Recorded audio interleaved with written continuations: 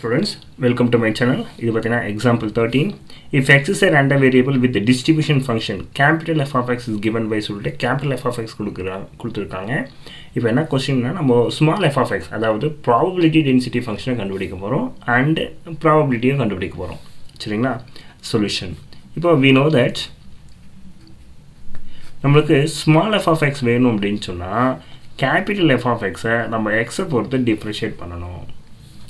ஆக இது நீங்கள் எக்ஸை பற்றி டிஃப்ரென்ஷியேட் பண்ணிங்கன்னா ஃபஸ்ட்டு கேஸில் ஜீரோ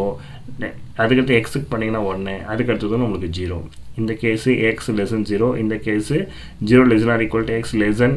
ஒன்று இந்த கேஸ் பார்த்தீங்கன்னா one less than equal to X so இது எப்படி எழுதலாம் அப்படின்னு சொன்னால் that is small F of X is equal to ஒன்று ஜீரோ இன்னொன்று பார்த்தீங்கன்னா என்ன இது? ஒன்று இந்த ஒன் எப்போ கிடைக்கும்னா zero less than equal to X less than equal to ஒன்று இங்கே பார்த்தீங்கன்னா இது வந்து அதர்வைஸ் மற்றபடி இது வந்து உங்களுக்கு ஜீரோ ஸோ இதான் நம்மளுக்கு தேவையான எஃப் ஆஃப் எக்ஸ் இது ஃபஸ்ட்டு நம்மளுக்கு முடிச்சாச்சு செகண்ட் நம்மளுக்கு என்ன வேணும் அப்படின்னு சொல்லி பார்த்தீங்கன்னா P of zero point two less than or equal to X less than or equal to zero point ten ஆச்சு அப்படின்னு சொல்லி பார்த்தீங்கன்னா செவன் சரிங்களா? ஸோ இங்கே இது எப்படி எழுதலாம் அப்படின்னு சொல்லி பார்த்தீங்கன்னா F of zero point seven minus F of zero point two F of zero point செவன்னா இங்கே பாருங்கள் ஆசி ஆசிட்டிஸ் தான்.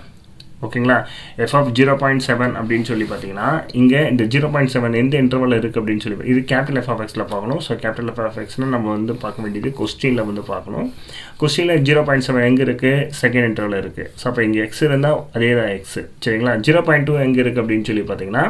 ஜீரோ பாயிண்ட் டூவும் நம்மளுக்கு அதே எக்ஸில் தான் இருக்குது ஆக இது எப்படி எழுதிக்கலாம்னா zero point seven minus zero point two which is equal to zero point என்ன ஆயிடுச்சு அப்படின்னு சொல்லி பார்த்தீங்கன்னா ஃபைவ்